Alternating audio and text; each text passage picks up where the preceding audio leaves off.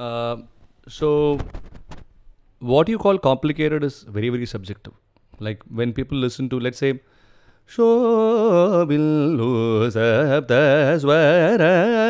that that part could be complicated for some some of us. Um, let's say, Hechari Gagarara. He Ramachandra. That Ramachandra, you know, it's it's communicating so much. So that part is very very complicated. Believe me, it just comes after years of practice. There's still lots of perfection to be achieved there. So number one, I uh, we strongly believe that there is nothing called easy or complicated in music because everything demands a certain level of attention and practice.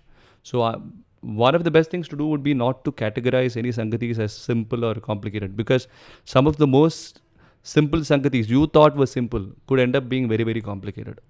And some of the most complicated could just happen for you in a minute in a you know in a moment. So the approach is practice you know just practice just keep practicing. If, you, if you're not getting a particular sangati repeat it 100 times 200 times. That's the only way.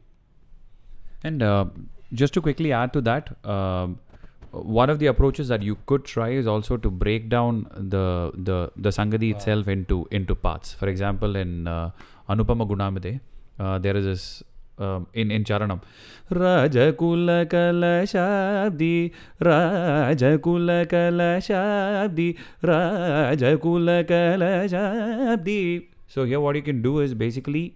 Uh, I'll take just the last Sangadi here because the first two Sangadis, uh, the entire thing is also in, included in the last one. So, Rajakula, Rajakula. Just so keep singing that as many times as it takes for you to get that perfect every time that you render.